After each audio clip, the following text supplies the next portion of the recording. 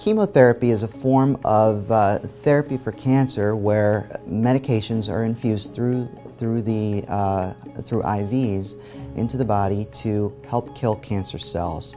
We have many types of chemotherapy, and for testicular cancer, we use certain types of chemotherapy.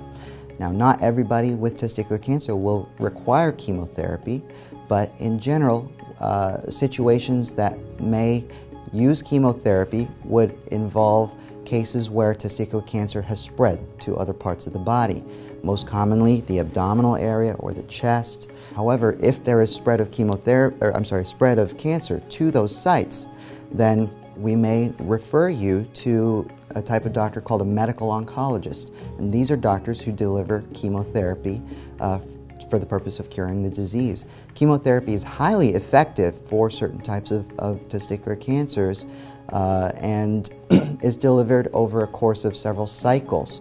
And then the medical oncologist would counsel you on the various types of chemotherapy, the risks associated with those types of chemotherapy.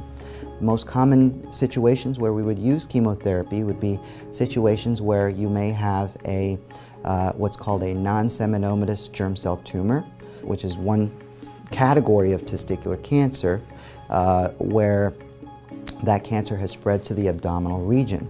Now, even in cases where the cancer has not spread to the abdominal cavity or elsewhere, then we may look at certain features of the cancer within the testicle. If we see certain features like uh, lymphovascular invasion, that may increase the risk that there may even be microscopic disease elsewhere in the body. Or if we see evidence of certain types of aggressive forms of cancer within the testicle, like embryonal cell carcinoma, which is one variant of non-seminomatous germ cell tumor, in those cases, then we may also offer uh, chemotherapy. In general, whenever there is spread of, of cancer to to other areas, then, then we do consider chemotherapy as an option. But um, it, even when there is no spread of cancer to those areas, we may offer it to patients. Uh, other options in those situations would include things like surveillance, where we continue to monitor, monitor things to make sure that that patient does not develop further cancer elsewhere or surgery in the form of what we call a retroperitoneal lymph node dissection. This is a procedure that is done to remove the lymph nodes in the abdominal area to make sure that there is no cancer that is present there. So in some cases we will talk to patients about surveillance versus surgery by retroperitoneal lymph node dissection versus chemotherapy.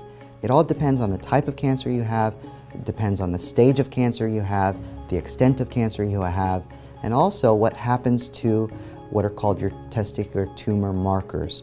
Tumor markers are uh, proteins produced by testicular cancer, and when they are elevated, they generally signify the persistence or presence of viable testicular cancer.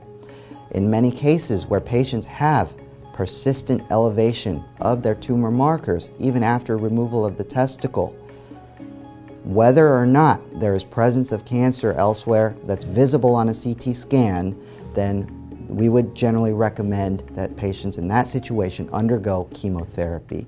So there are many factors that we look at, but these are some of the general principles and concepts that we use to treat testicular cancer.